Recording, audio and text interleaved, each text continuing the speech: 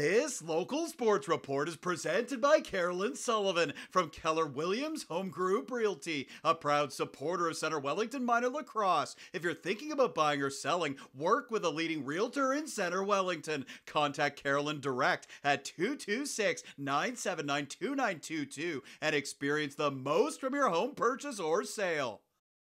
Let's head to Centre Wellington for under 11 lacrosse. The Riverhawks at home on Tuesday night, looking to pick up a victory. They were hosting the Guelph Regals at the CW Sportsplex. Opening period, watch the near boards. Charlie Nels with a nice feed for Emmett Hins. He comes in and opens the scoring. Great goal from Guelph. They take a 1 0 lead. Back come the Riverhawks under a minute later. Cameron Jackson over to John Craddock. He finds space and ties the game. Nice shot there. We are knotted at one. Later in the first, the Regals retake the lead on this play. Jackson Barber sends it back to Carson Reinhardt, and he puts it in. Guelph is on top. It's 2 1. Shortly after the goal, here comes Bo Sullivan. He weaves his way through the defense, and it's a beauty from Bo. CW's back on even terms. It's 2 2, and the first period was full of goals. Cameron Jackson charges in, and he gives the Riverhawks the lead. Jackson makes it 3 2 after the first. Second period, here comes Guelph.